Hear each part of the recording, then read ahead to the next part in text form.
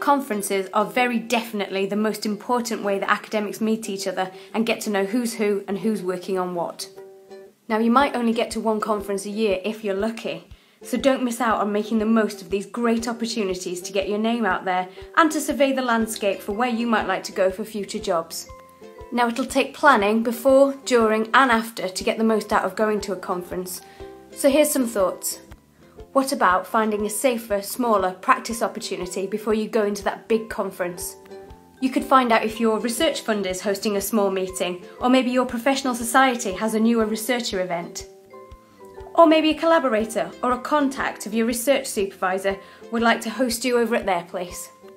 Now, there's guaranteed to be something at the local level, so what about a school or faculty or department research day? And now you'll see the point of things like the PhD symposium as a practice opportunity for selling your research. And as a pre pre warm up, there's always your group meeting, so why not get a bunch of you together and practice on each other? And there's one excellent way to get to know all the researchers at a particular meeting, and that's to be an organiser. So look out in your department for ways to get involved.